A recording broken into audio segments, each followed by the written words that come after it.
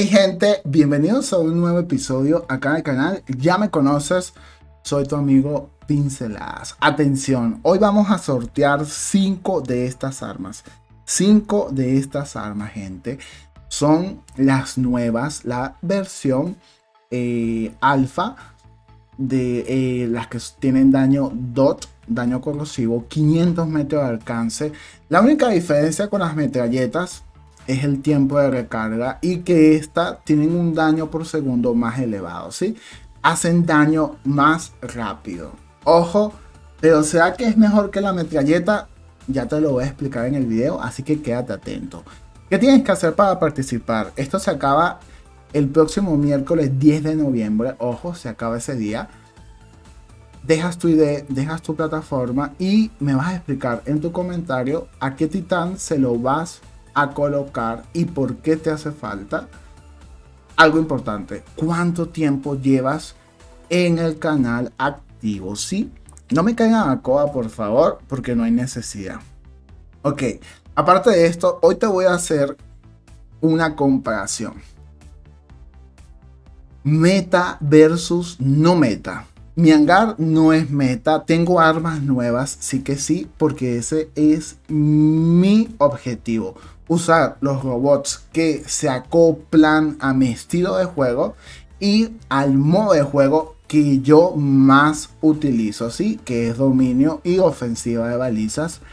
Me enfoco en tener robots que cumplan, ojo, una misión en mi hangar en todos los mapas y sobre todo que no van a ser balanceados. Ojo, no van a ser balanceados. Eso es vital. Yo te pregunto, ¿de qué vale que tengas dos Orochis, un Revenant? Y no los tengas maxeados. Ojo, en campeón, ¿sí? En ligas bajas, bueno, no importa que no esté maxeado. ¿De qué vale que tengas tantos robots metas? Si ya sabes que van a ser balanceados porque están demasiado chetados y lo peor, toda esa plata que gastas subiendo esos robots lo puedes utilizar maxeando algo que te funcione. Ya sean robots, ya sean módulos pasivos que son sumamente importantes. Y, ¿por qué no? Dejar de gastar AU en tantos pilotos nuevos y enfocarte en tener drones competitivos con microchips T3. Ok, fíjate. Vámonos con el gameplay. Oh, Lo primero que te voy a decir Hoy en día, eh, Liga Campeón está plagado de Fafnir, está plagado de Revenant y de Orochi. Entonces, cuando tú construyas tu eh, hangar, tienes que tener una visión de lo que está sucediendo en la meta, ¿sí? A mí me encanta el Hellborner. El Hellborner tiene una habilidad explosiva que me hace hacerle daño a los Orochi que tengan sigilo. Por eso yo lo considero competitivo, ¿sí? Lo que hago es utilizarlo con armas de corta distancia que sé que el daño por segundo es elevado. Sí, no se les olvide que yo soy MK3, pero en este video, si te quedas hasta el final, vas a ver el nivel de mis enemigos. Entonces, esa excusa que siempre leo es que ser MK3 es fácil, ya te da la victoria, no siempre aplica cuando te sale otro full MK3. Ahí sí depende de quién utiliza mejor las cosas en el mapa, en la batalla. Y obviamente pues también influyen mucho los aliados que tienes. Yo vengo en este mapa Luna. Siempre es importante ir por la baliza de nosotros y la del medio. Aquí yo me doy cuenta que mis enemigos están controlando la primera baliza de casa. ¿Eso qué significa, pinceladas? Eso es una señal de advertencia que tus aliados no tienen el mismo nivel competitivo que tus enemigos y que lo más probable es que tus enemigos tengan Orochi, Revenant y están destruyendo a tus aliados. Yo en este punto ya me iba a ir hacia ese lado a ayudar, pero me llegan dos Revenant. Punto débil de Revenant, rapidito, punto débil de Revenant. Pásale por un lado si tiene armas tóxicas o si tiene armas lanzallamas o si tiene llama, eh, armas de estas sónicas. ¿Qué pasa con el Revenant? Él tiene la cámara de control arriba y si tú le pasas por un lado, las armas dejan de apuntar porque hay otros enemigos al lado. Y fíjense cómo evito que me hagan daño continuo movimiento, gente. El Revenant con movimiento deja de apuntar. Ya destruía uno. Y no me vayas a decir que era nivel MK1 porque al final te voy a mostrar los niveles de estos manes, ¿sí? La cuestión es que tú sepas utilizar. Yo considero que yo utilizo muy bien a Hellborner. Algunas veces me lo destruyen, etcétera, como todo, porque de eso se trata el juego, ¿sí? No siempre gano porque si no, no tuviese lógica. Pero sí me la vacilo y disfruto. Ustedes no se imaginan. ¿Por qué Pinceladas usa estos robots viejos? Yo tengo el mismo patrocinio que los otros canales que utilizan Revenant, Fafnir y todo eso. Pero yo disfruto jugar con robots viejos y destruir a la meta. Eso a mí me gusta. Es lo que me distrae. Es lo que me hace sentir bien cuando juego. Piensa este amigo, claro ejemplo, Orochi, dos tóxicas nuevas, nivel no competitivo en Liga Campeón.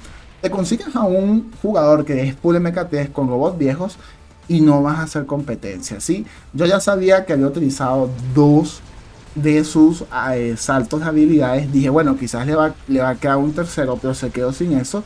Y debido a eso fue que no le seguí disparando. Muchas veces veo que la gente le dispara a Orochi. No, tienes que esperar que el Orochi se quede sin habilidad y es cuando disparas. Porque es cuando tienes chance de hacer un muy buen daño. Y si tienes armas como las tóxicas, las sónicas, le vas a hacer un daño muy pero muy rápido. Ahora, clave, cosas clave, gente. Me están preguntando en los comentarios, pinceladas un video de los drones.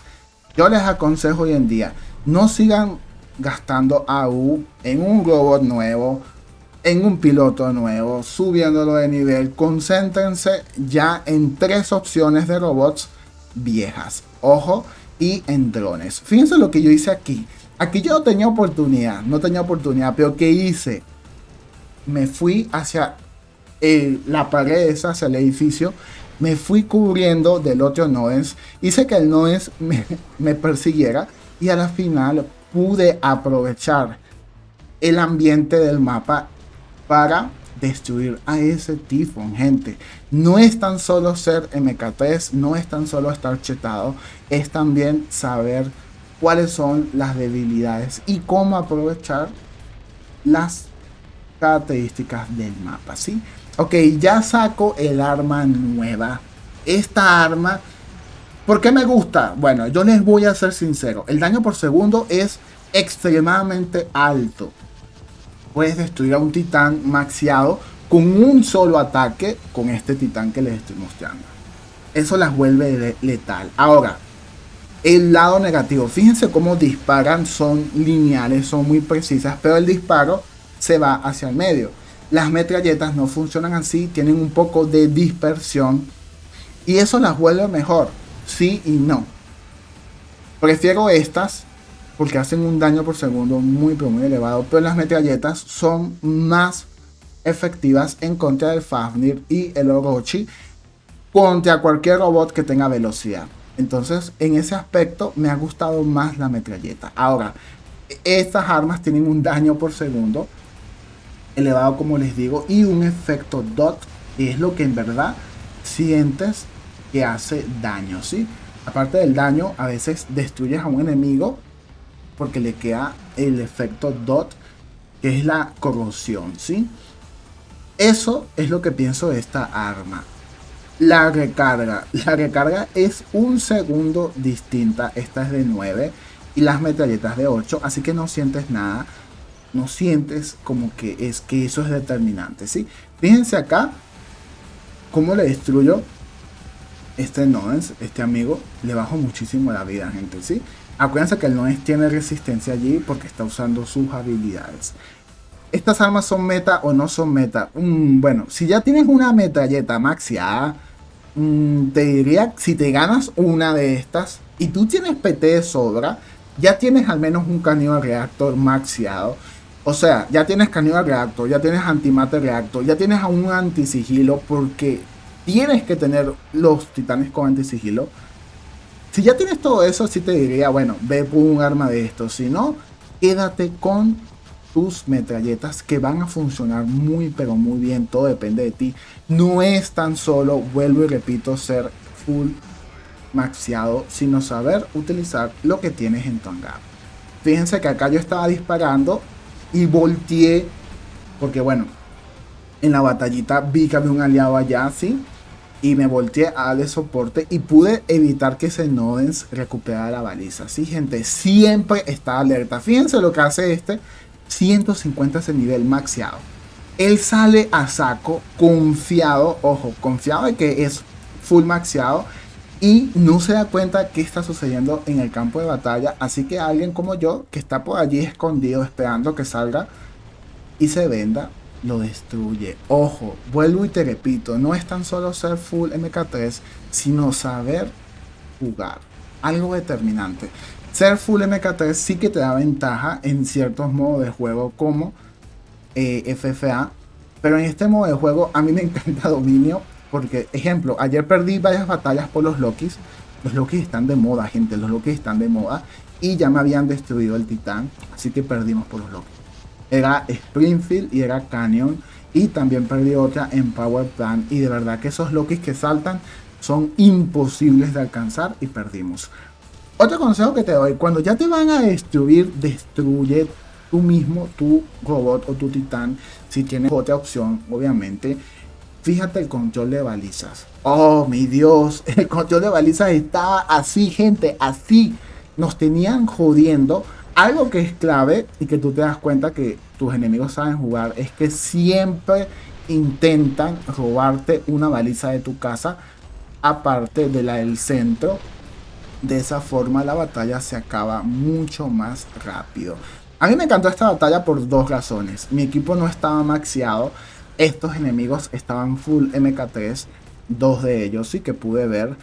Y yo soy full MK3. Así que estuvo bastante, bastante buena y había competitividad. Lamentándolo mucho, pues algunos de mis compañeros eran nivel 10 y 11 y yo sé que alguien nivel 10 y 11 no es competencia así en un mano a mano. Pero fíjense este detalle. El Typhon se volvió face chief o algo hizo ahí y no controló la baliza. El Hawk se fue a hacer más daño. Pero ¿por qué tienes que hacer más daño si tienes que ganar? Y me dejó aquí solo la baliza y yo pude controlar en los últimos segundos esta baliza y gané. Gané esta baliza y el resultado fue victoria. Gente, no es tan solo hacer daño. Fíjense que ese Hawk se fuese quedado allí sacrificando su robot y fuesen ganado. ¿Sí o no? Bueno, si llegaste hasta este punto, te voy a mostrar ya los eh, niveles de los enemigos y algunos aliados porque bueno, no siempre puedo ver todo porque son de otras plataformas. Pero si llegaste hasta acá, en tu comentario, al lado, ojo, al lado de tu plataforma, solo al lado de tu plataforma, vas a dejar un emoticón, un icono de corazón, color rosado. Allí eh, vas a tener más chance de ganar, ¿sí? Vas a tener más chance. Fíjense, full MK3. Full MK3. Y el otro, bueno, tenía un arma MK2, 12. Y el otro, el compañero, por ahí ya lo vi, full MK3 también. Así que bueno, fíjense, este es un compañero mío que yo pensé que estaba maxiado. Porque es un, es un clan rango S. Y fíjate que no.